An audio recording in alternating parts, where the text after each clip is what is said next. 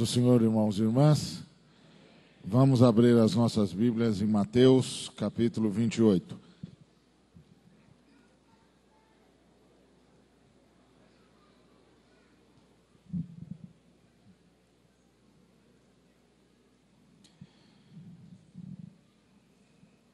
Vamos ler o versículo de número 20.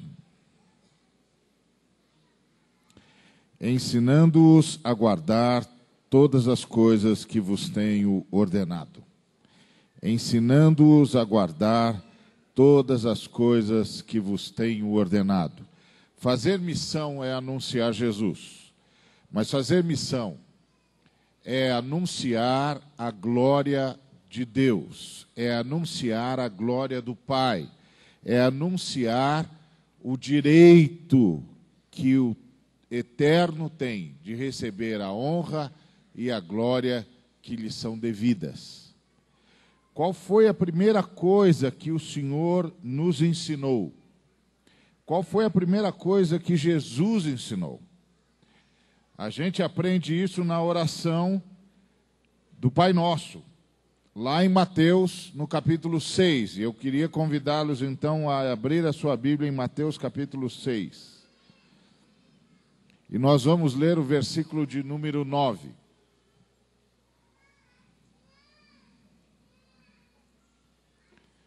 Portanto, vós orareis assim: Pai nosso que estás nos céus, santificado seja o teu nome. Essa foi, sem dúvida nenhuma, a ação mais poderosa de Jesus. A ação mais poderosa de Jesus foi a de comunicar com todas as letras, de todas as formas, a honra e a glória do Pai.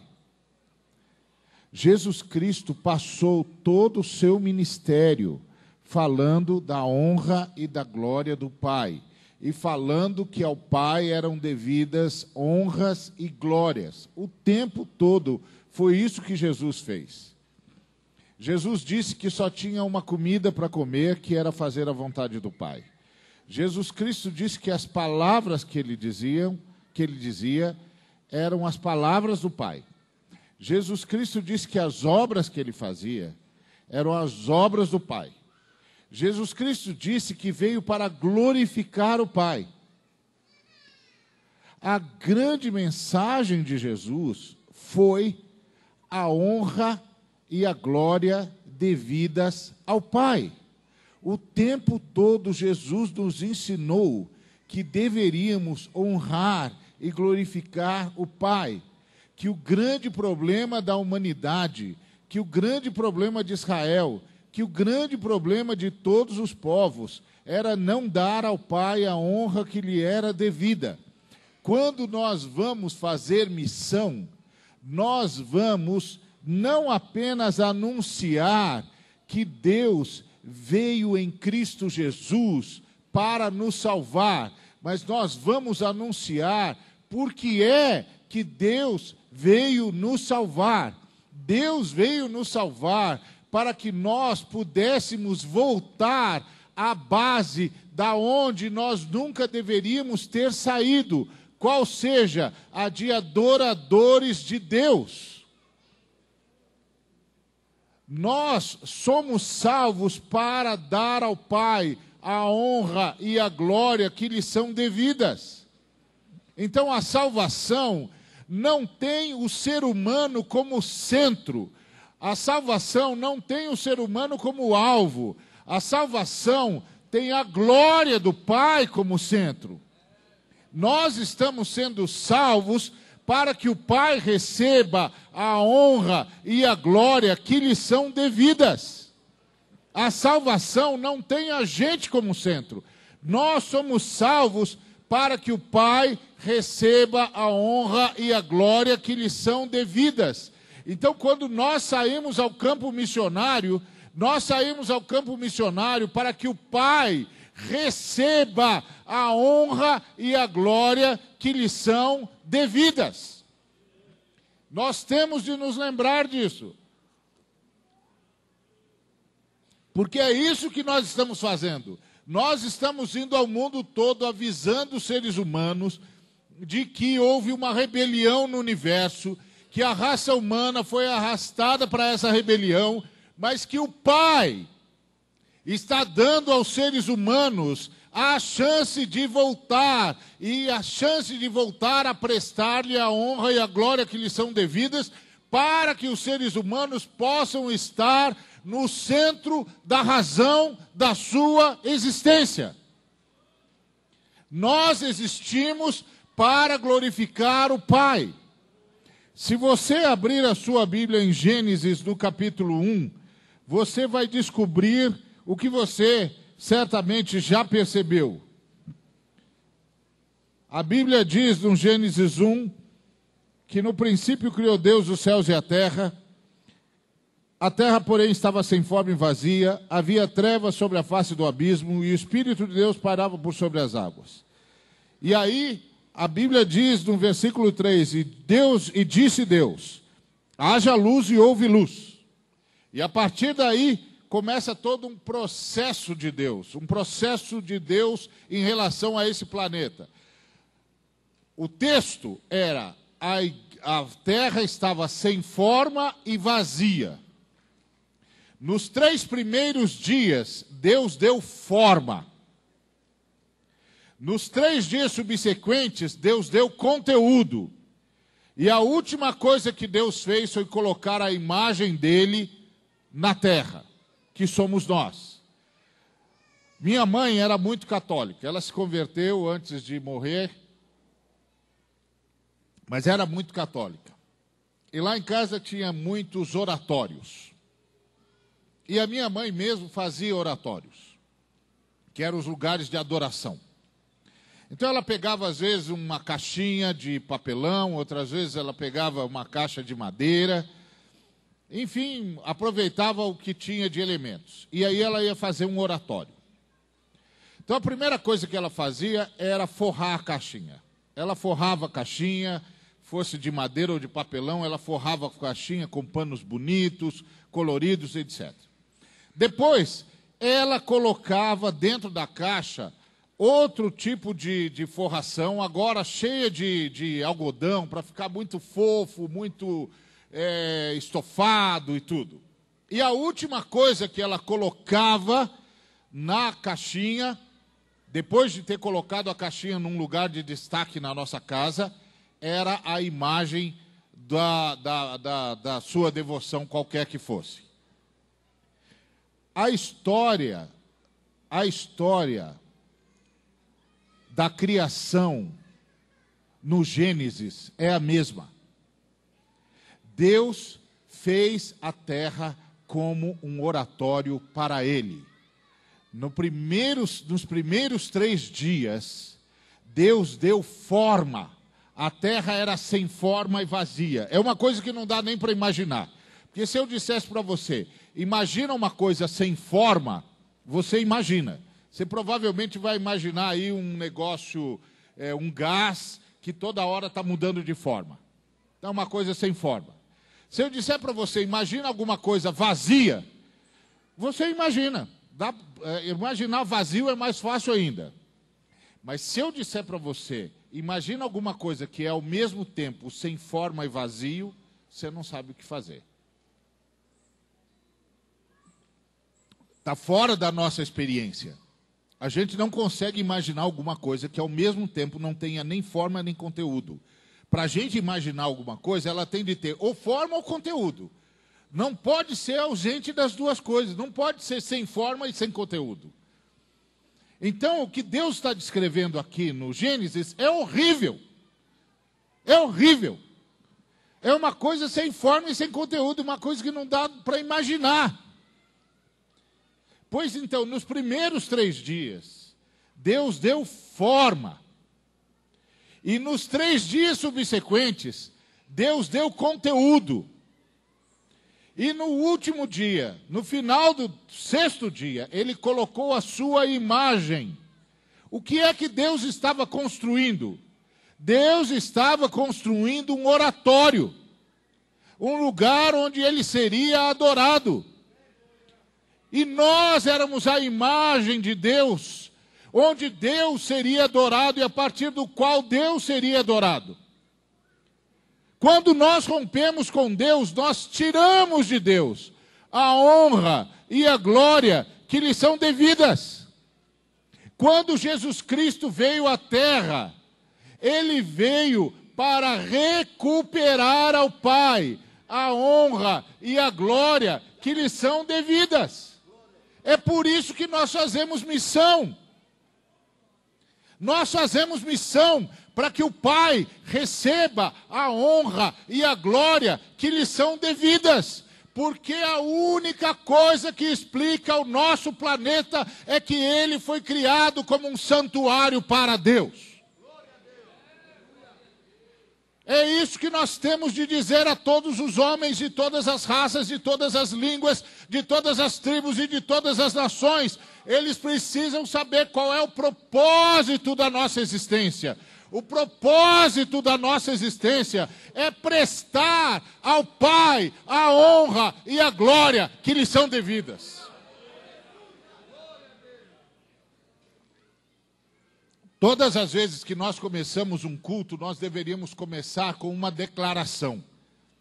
Nós deveríamos fazer a seguinte declaração: Deus eterno, Senhor e Criador e sustentador do universo, em nome de todas as tuas criaturas, nós nos reunimos aqui para prestar ao Senhor a honra e a glória que lhe são devidas. É assim que devia começar todos os nossos cultos.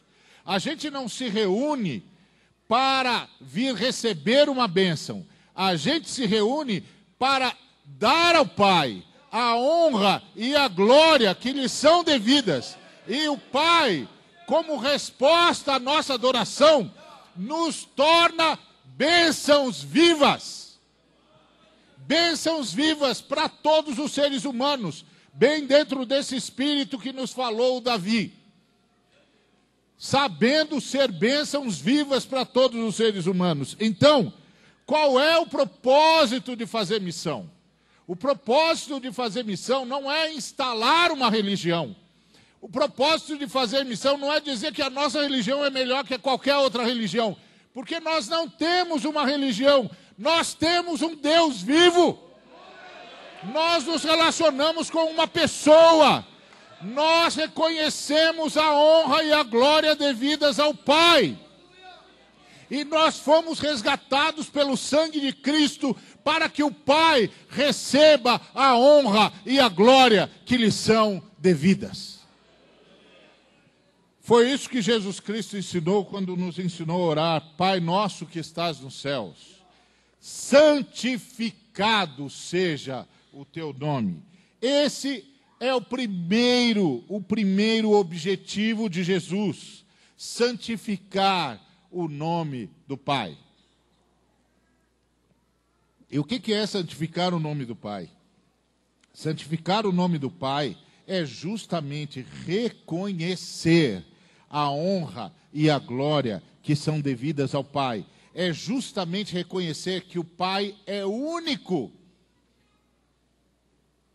que não há outro Senhor além do grande e sublime Deus eterno, e que ele deve receber toda a honra, toda a glória e todo o louvor, e que só quando ele recebe toda a honra, toda a glória e todo o louvor é que as coisas estão nos seus devidos lugares.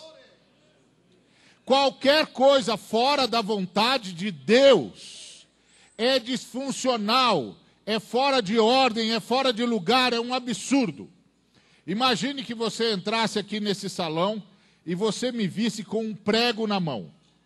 E eu estou ali naquela, naquela parede azul e eu estou com um prego na mão. E aí você vê que no, na outra mão eu estou com uma jarra de vidro. E aí você diz, Ari, o que, que você vai fazer? Eu digo, eu vou pregar o prego aqui nessa parede forrada de veludo é, azul. Ah, você vai pregar um prego aí? Vou. E o que, que você está fazendo com a jarra de vidro na mão? Aí eu digo para você, eu vou usar a jarra de vidro para pregar o prego. eu não tenho martelo, mas eu tenho essa jarra de vidro e eu vou usar a jarra de vidro para pregar o prego na parede. O que, que você iria dizer para mim? Você dizer, meu irmão, você ficou louco. Primeiro, você não vai pregar prego nenhum com jarra de vidro. Segundo, você vai estourar a jarra de vidro e o vidro vai cortar você, você vai se ferir. E sabe Deus como é que você vai se ferir? Pois tudo que é feito contrário à vontade de Deus é como um doido pregando prego usando um jarro de vidro como martelo. Qualquer coisa fora da vontade de Deus é uma loucura. Qualquer coisa fora da vontade de Deus é um absurdo. Nós já cometemos muito absurdos na vida, mas sempre há a possibilidade de pedirmos perdão para não cometermos mais absurdos. E é para isso que nós fazemos missão para que a humanidade pare de cometer o absurdo de não dar a honra e a glória que são devidas ao Pai. Foi isso que Jesus Cristo disse. E sabe de uma coisa? É só quando a honra é, é, e a glória devidas ao Pai são reconhecidas, é que as coisas ficam nos seus devidos lugares. Lá em Ezequiel capítulo 36, se você abrir a sua Bíblia em Ezequiel capítulo 36, você vai descobrir isso. Em Ezequiel capítulo 36 está explicado o que é santificar o nome do Pai. Ou melhor, o que é que nós estamos pedindo quando nós dizemos Pai nosso que estás nos céus, santificado seja o teu nome. É maravilhoso ver a, a, a, a oração do Pai Nosso, só essa frase, eu não vou nem não vou, não vou me estender por toda a oração, porque nós não temos tempo para isso. Mas só essa frase já é extraordinária. Primeiro, porque ela fala, ela apresenta o Senhor como Pai. Você pode, você está tão acostumado a falar isso que você não percebe, eu e você não percebemos a dimensão disso. Mas eu me lembro de uma, de uma, uh, um programa de, de, de, TV ou de rádio que houve lá na, em Londres e eu recebi as notícias desse debate. Era um debate reunindo as três religiões monoteístas o judaísmo, o muçulmanismo e o cristianismo. E aí, muita conversa sobre o que, o que ensina um, o que ensina o outro, etc, etc. E o, o, no final, o repórter vira para o teólogo cristão e diz: Bom, temos aqui as três religiões é, que acreditam que há um só Deus: o cristianismo, o judaísmo e o, e o islamismo. É, as diferenças entre eles é que o judaísmo tem como fundador Moisés, o islamismo tem como fundador Maomé e o cristianismo tem como fundador Jesus de Nazaré. Essas são as grandes, as três grandes diferenças, essas são as diferenças entre eles, mas no final das contas, todos eles falam de Deus do mesmo jeito. E aí virou para o teólogo é, protestante e disse: O senhor concorda com isso? E ele disse: Não, não concordo não. Aí o, o, o repórter disse para ele: então diga uma grande diferença na forma como vocês tratam Deus da parte dos cristãos. Ele disse: Nós somos os únicos que chamamos Deus de Pai.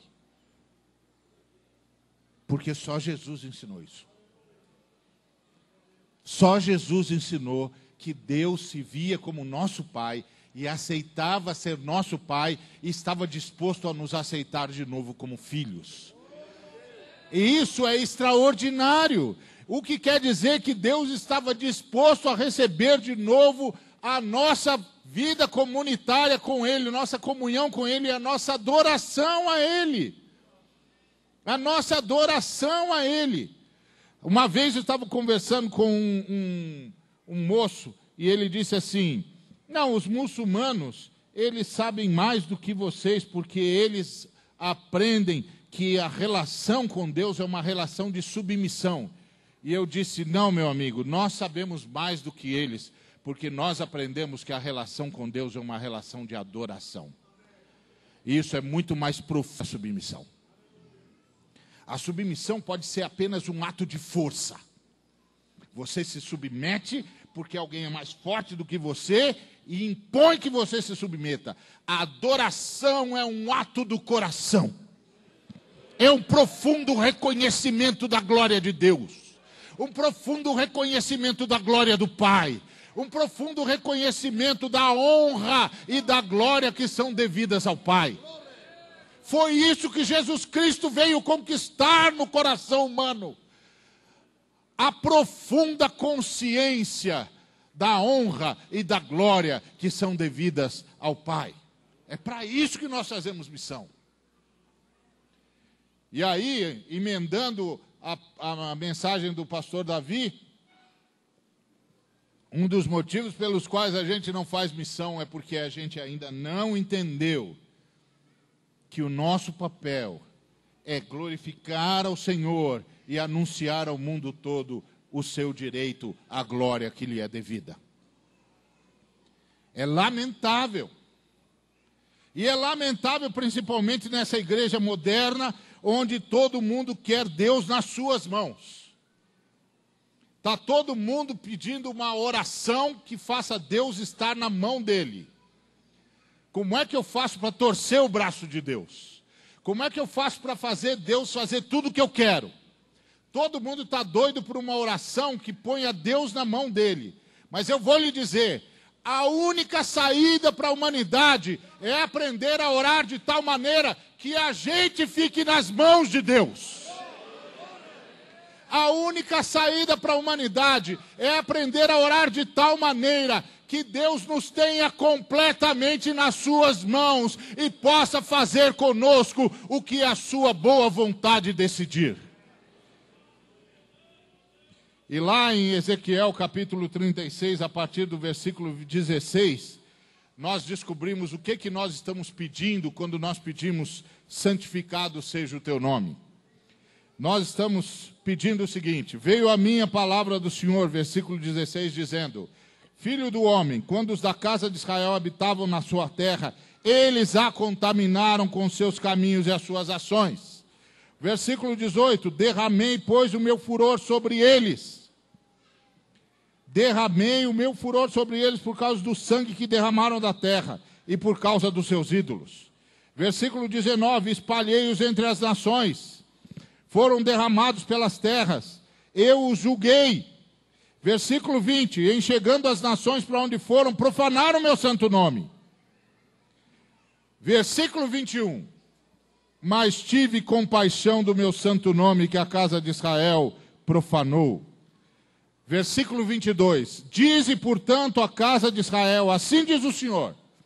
Não é por amor de vós que eu faço isto à casa de Israel, mas pelo meu santo nome que profanaste entre as nações. Versículo 23: Vindicarei a santidade do meu grande nome que foi proclamado entre as nações. E mais: As nações saberão que eu sou o Senhor, diz o Senhor Deus, quando eu vindicar a minha santidade perante elas. O que é que Deus está anunciando através de Ezequiel? Ele está anunciando o seguinte: Israel abandonou Deus, virou um povo assassino, idólatra, abandonou o Senhor. O Senhor então tirou Israel da sua terra, porque Israel não tinha mais direito de ficar na terra. Espalhou Israel entre as nações. No lugar onde Israel foi espalhado, ao invés de eles se arrependerem, ao invés de eles se converterem, eles se tornaram piores ainda. Profanaram o nome de Deus. Se eles já estavam fazendo uma desgraça na, na sua terra, agora estavam fazendo pior na terra alheia de modo que ao invés de serem testemunhas da glória de Deus, eles faziam as pessoas zombarem de Deus. Deus era zombado por causa deles. Aí Deus decidiu salvar o nome dele. E aí foi isso que ele disse para Ezequiel: diga para o povo que não é por causa deles que eu vou fazer isso, é por causa do meu nome. Então isso é santificar o nome de Deus. Deus decidiu santificar o seu nome.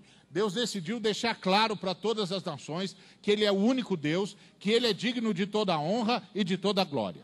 Aí o que é que Deus fez para santificar o nome dele? Continua a palavra de Deus. Versículo 23: Vindicarei a santidade do meu nome.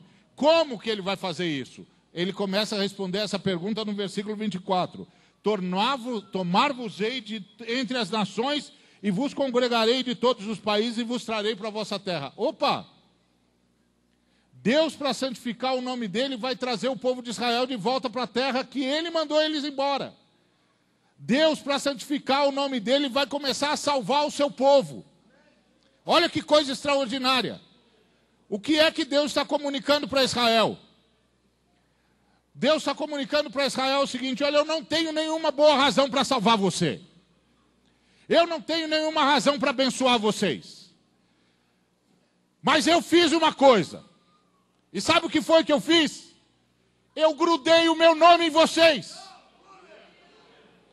E eu fiz isso porque eu sabia que vocês iam me trair. Eu sabia que vocês iam me abandonar. Eu sabia que vocês iam pecar. Eu sabia que vocês iam esquecer da minha glória. Mas eu grudei o meu nome em vocês. Para que quando eu não tivesse mais nenhuma razão para salvar vocês, eu salvasse vocês por causa do meu nome. Essa é a esperança que eu tenho em relação à igreja. Todas as vezes que eu oro pela igreja, eu digo: Eu sei, Senhor, que o Senhor grudou o seu nome em nós. E que quando o Senhor não tiver mais nenhuma razão para nos salvar, o Senhor não tiver mais nenhuma razão para consertar as coisas horrendas que nós fizemos, o Senhor fará isso por causa do seu nome. Isso é que é santificar o nome de Deus. Então ele disse: eu vou trazer vocês de volta. Mas ele disse: Vou fazer mais. Eu vou aspergir água pura sobre vocês. E vocês vão ficar purificados de todas as suas imundícias e de todos os ídolos. Eu vou livrar vocês da idolatria. Eu vou livrar vocês da sujeira que vocês agora carregam em vocês. E ele disse mais: Eu vou dar para vocês um coração novo eu vou pôr dentro de vocês um espírito novo. Eu vou tirar de vocês esse coração de pedra. Eu vou dar para vocês um coração de carne. Eu vou pôr o meu espírito dentro de vocês. Eu vou fazer com que vocês andem nos meus estatutos. Eu vou fazer com que vocês guardem os meus juízos e observem as minhas leis. Eu vou fazer vocês habitar na terra que eu dei aos pais de vocês. Eu vou ser o seu Deus e vocês serão o meu povo. Eu vou livrar vocês de todas as imundícias. Eu vou multiplicar o trigo. Eu vou fazer com que não haja mais fome no meio de vocês. Eu vou fazer com que vocês se lembrem que fui eu, por amor ao meu nome, que prosperei vocês. Olha essas nações todas desesperadas. O que é que eles não sabem? Que a única forma de ver a terra sarada é reconhecer a honra e a glória que são devidas ao Pai. Quem sabe disso? Nós! Nós sabemos disso. Então nós temos a obrigação de dizer, nós temos a obrigação de dizer para eles, nós temos o dever de dizer para eles que tem um jeito de sarar a terra, tem um jeito de sarar os corações, tem um jeito de tirar o opróbrio da fome, o opróbrio da maldição, da corrupção, do desespero que se abate sobre essas nações no mundo todo, por uma só razão: para que o nome do Senhor seja glorificado. E só tem um jeito de mudar a história reconhecer a santidade de Deus,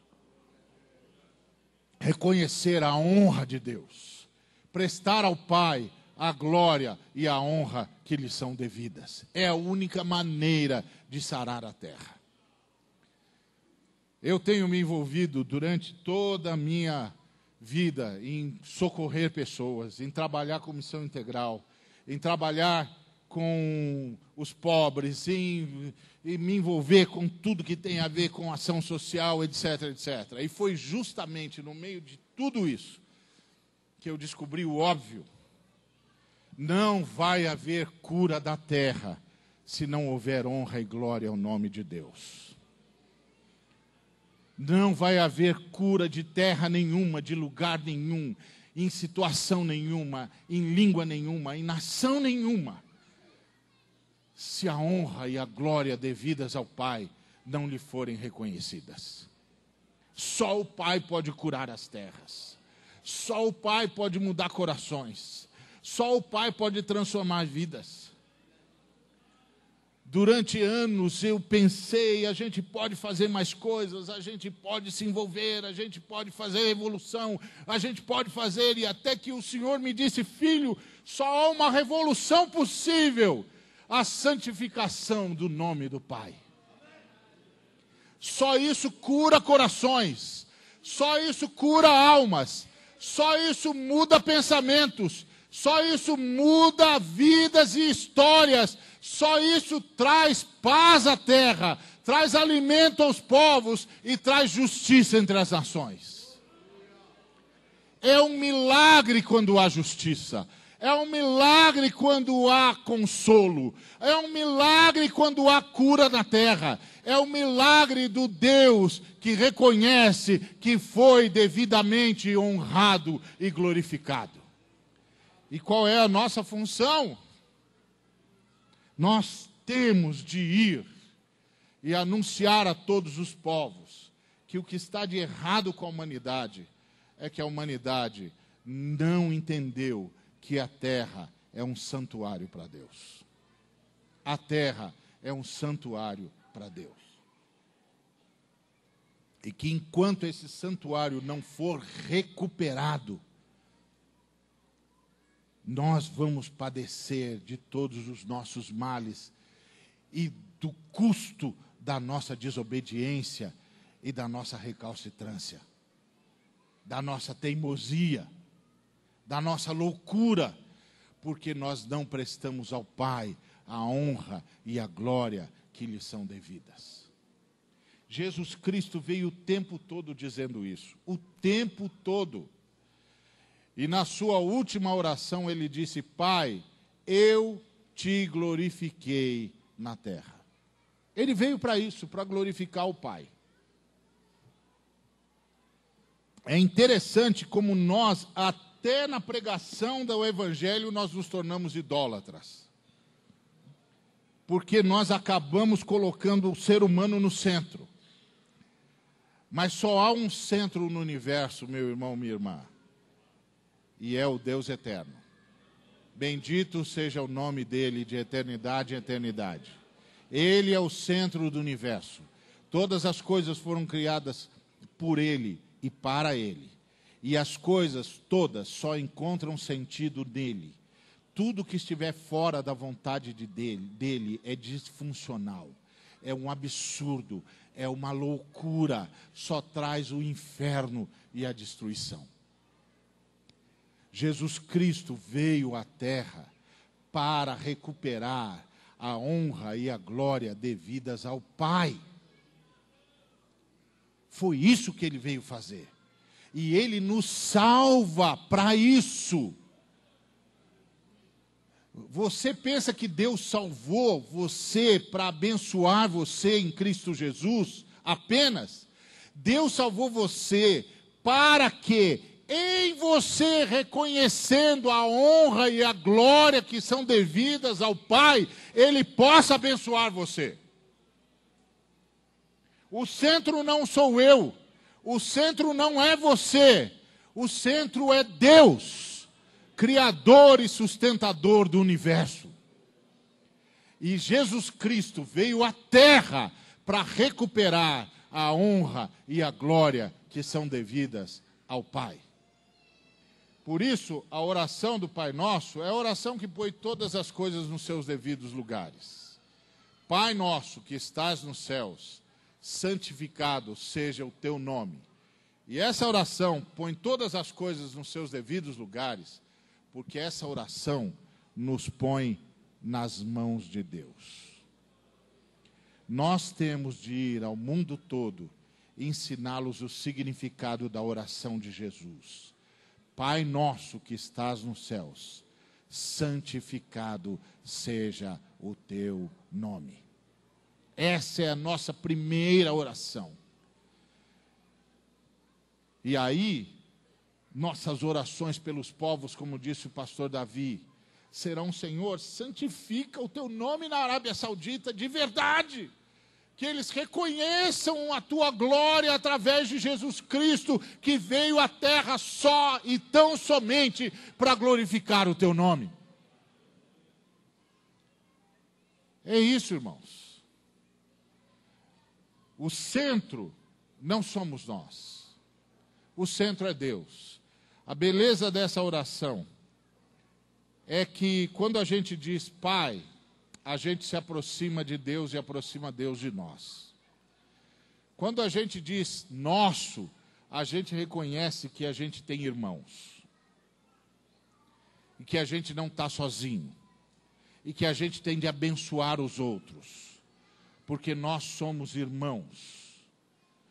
Quando eu oro, oro por todos nós. Você sabia que você não tem autorização do Pai de pedir nada para você? se você não estiver pedindo a mesma coisa para todos os irmãos? Você sabia que você não tem autorização do Pai nem para pedir perdão se você não estiver pedindo para que Ele perdoe todos os irmãos? É impressionante isso. Você sabia que você não pode pedir ao Pai que socorra você se você não estiver pedindo para Ele socorrer todos os seus irmãos? Pai nosso. Então a palavra nosso faz a gente se lembrar, nós somos responsáveis uns pelos outros. E aí o Senhor continua: que estás nos céus. E que estás nos céus não quer dizer geograficamente, quer dizer que és o Altíssimo, totalmente diferente de nós. Daí, a conclusão é única porque és o Altíssimo, santificado seja o teu nome. Que toda a terra, que todos os povos, que todas as línguas, que todas as pessoas reconheçam a honra e a glória que lhes são devidas. Foi por isso que Jesus Cristo subiu à cruz, pelo Pai porque se Jesus Cristo tivesse subido à cruz por mim e por você apenas, ele seria um idólatra. Mas em nenhum momento Jesus Cristo estava fazendo outra coisa senão adorar ao Pai. Em nenhum momento Jesus Cristo estava fazendo outra coisa senão prestar culto ao Pai. E quando ele subiu à cruz, ele se, estava se oferecendo ao Pai, para que o Pai pudesse nos perdoar e pudesse receber a honra e a glória que lhe são devidas. Nós não somos o centro. O centro é o Deus eterno, Criador e sustentador do universo. E só vai haver cura para as pessoas, só vai haver cura para a terra, só vai haver cura para as nações, só vai haver o fim de toda a corrupção e de toda a injustiça quando a honra e a glória do Pai forem reconhecidas e devidamente prestadas. Que Deus nos abençoe.